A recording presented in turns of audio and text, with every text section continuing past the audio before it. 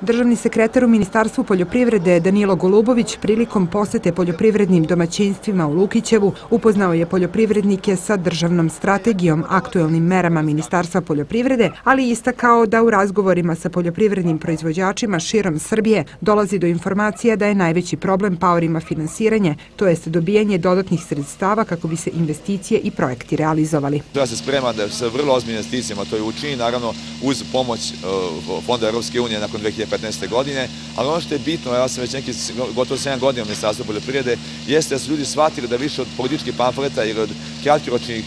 obećanja realizacije političara nema ništa. Pitanja su vrlo kvalitetna, možemo reći da je, se isti kako vidi napredak i pare koje su do sada uložene ovih protekle godine u poljoprivredu počinju da daju efekat, naravno ne puni koji bi trebalo i jako je bitno da ova vlada koja bude formirana nakon izbora bude konzistentna i dugoročna pre svega zbog pregovaračkog procesa da bi smo imali stabilan pregovarački tim, a i drugo da bi svoje strateške ciljeve konačno mogla jednom dužem periodu, odnosno ciklusa četiri godine, nova vlada da realizuje. Glubović je istakao da poljoprivreda u Srbiji apsolutno ima perspektivu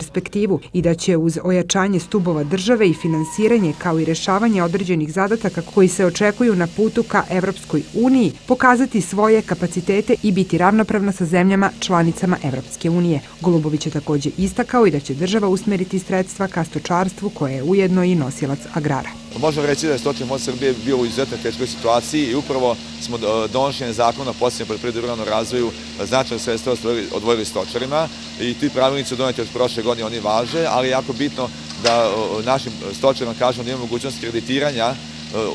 za ovu godinu To je, to je jedan deo sredstava koji daje ministarstvo koji će vrlo brzo biti dostupan. To su kamate na nivou 4%, 5 godina ukupno davanje, odnosno rok e, korišćenja, godinu dana grace period, ali mi očekujemo jedan daleko ozbiljniji aranžman, to je sa kolegama iz Abu Dhabija, gde u pitanju 100 miliona e, eura koji će biti plasirani dobro demo u stočarstvu, demo investicija, da nabavka e, priplonih junica, znači udaramo, što kažu, iz svih sredstava da pomognemo stočarima, verujte, ako budemo razvijeno stočarstvo, to će biti blagodati za sve ostale segmente u oblasti poljoprivrede.